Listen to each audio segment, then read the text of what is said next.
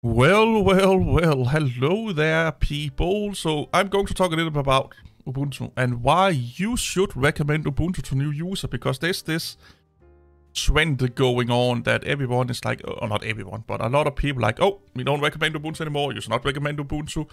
And then they have like, in their opinion, some great examples or reasons why you should not do it. And I do agree with a lot of them. However, the famous word, however, or bot and what whatnot. I still think you should recommend Ubuntu. And I will go into why you should do it. And this is just a few things that I think is one of the most important things on why you should recommend Ubuntu. I could talk about this for fucking days on end. So let's um let's dig into it. Oh, it actually helps if I'm activating my fucking uh, virtual machine. Help. The good old question. The good old uh, seeking for help. Ubuntu by far give people the most help you can get. They have Ubuntu forums. There are plenty of Ubuntu chat rooms. Rooms. Uh, the Ubuntu, uh, the Ubuntu Reddit page is one of the the biggest ones out there. I think only Arch Linux is um, creeping over them or something like that. Yeah, Arch Linux has more, and Lin even Linux question. A lot of the questions in the Linux questions forum is catered towards Ubuntu. What if you say to your friends and family, oh, you need Linux, let me install Ubuntu, and you talk about Linux and Ubuntu, or not, let's say Linux and Fedora and Linux and stuff like that, what they hear is Linux. Because they, they are like they have probably heard about Linux. So they go, how to set up Wi-Fi in Linux. The first one is an Ubuntu documentation. And you can go down, you know, and and um, and see here the first couple of videos here Ubuntu Ubuntu, and I didn't use the Ubuntu name. I just used Linux. Remember that, people. You know, meaning the word Linux. Why did I do that? Well, most of you will tell people that oh, we're going to in install it or Arch or whatever it is, and and and your friends or whatever they will ask, but what is it? You are not saying oh, it's Arch you say, oh, it's Linux. It's this alternative thing to Windows. So they they they're like they don't really the name they see that as a you know Windows XP and stuff like that, but they hear the word Linux all the time when you're talking to them. And when they are, uh, you know, if they know a little bit about Linux, they, they have heard the word Linux. And you say the word Linux, they associate that and they're like, oh, so when I need help, I will just use Linux because again, we are conditioned from the Windows side to be like we have Windows and then we have XP, ME, and blah blah blah. So they just think that Arch Linux, Fedora Linux is just like Windows XP, Windows ME. It's just like a version of Linux, but they don't think about searching for that word. A lot of people don't anyway. And I'm talking from experience here, by the way, people. So you go on here and um, they will just search, use the search term Linux. Install Zoom. Support Zoom here. They use both Debian, Mint, blah, blah, blah. Here we have uh, Ubuntu is the second one. Uh, Ubuntu. Making use of, I haven't read this one. Ubuntu. Internet not working. This is a common problem. Internet not working. Linux. Here to solve it. I don't know which one this is. Uh, Ubuntu. Again, I don't know what this one is here. Let, us go in here and see what these are saying. Let's uh, accept this one here. Uh, uname. This looks like a lot like Ubuntu, don't it? Let's troubleshoot over here. They are pinging, they're doing a lot of things, ping router.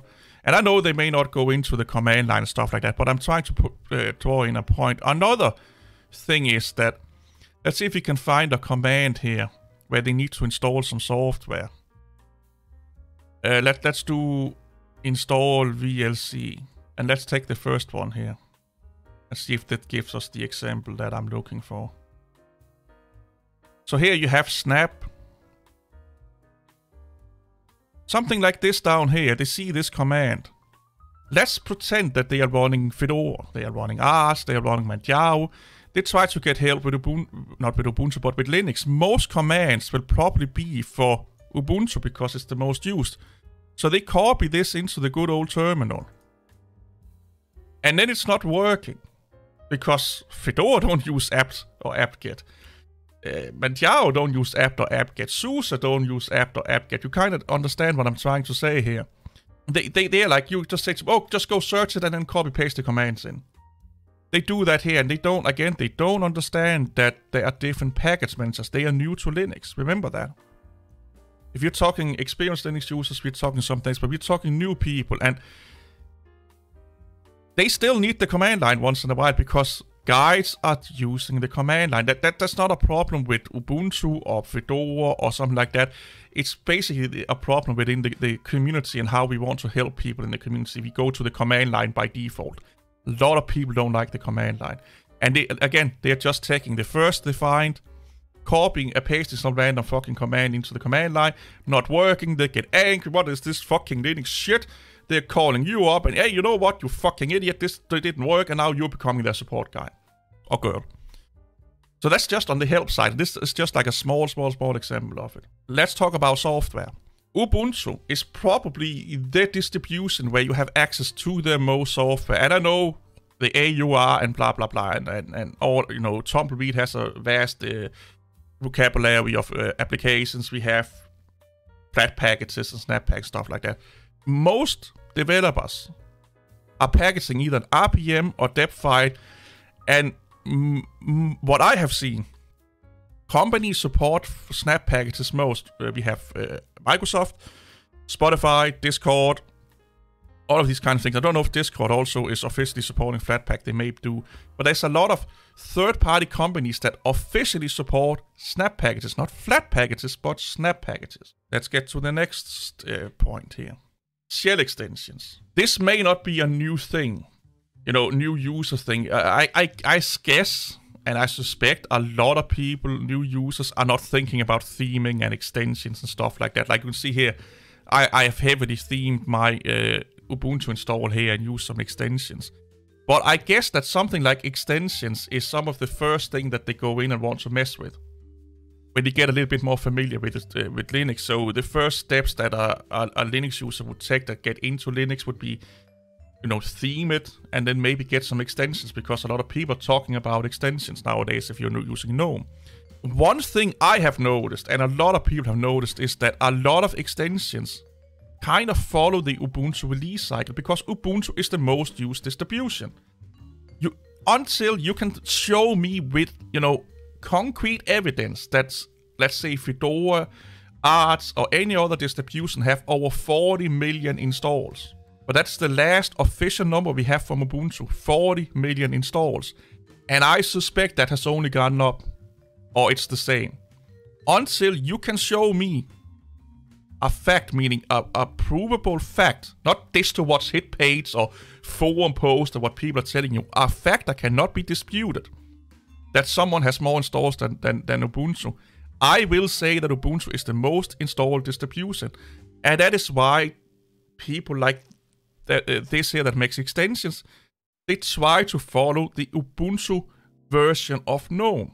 I have noticed, and a lot of you have probably also noticed, and I'm sorry for all this fucking lighting. I need to do something with my lighting situation at some point. That when GNOME release a new version of GNOME, but it's not in Ubuntu yet. A lot of the extensions take weeks or months before they work under GNOME. I used to run GNOME under Arch Linux.